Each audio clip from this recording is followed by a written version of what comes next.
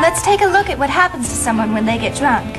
Your brain is divided into two parts. The left side of your brain is the rational, mathematical, more logical part of your mind. I will rise at precisely 6.45 a.m. I will then jog 1.5 miles to keep my body healthy.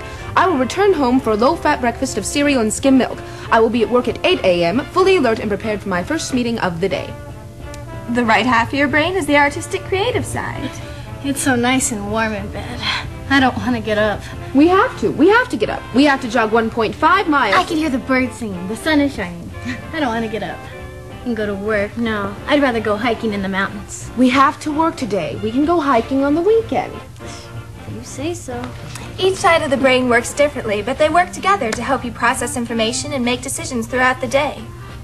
Look, there's that cute guy. Let's hug him. No! We must introduce ourselves first, then engage in cordial conversation, all right?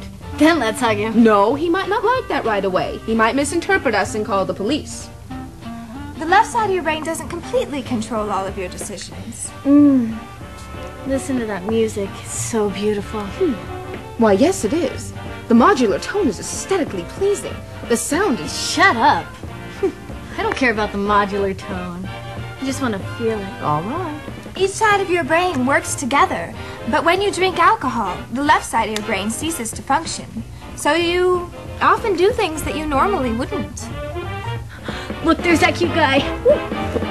Alcohol slows your reflexes and your motor control. You can't move as well as you can when you're sober.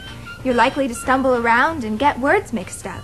And if you drink too much alcohol, you poison yourself a little and then you get really sick. But more or less, you behave just like Zach. Except you have a choice whether or not to drink.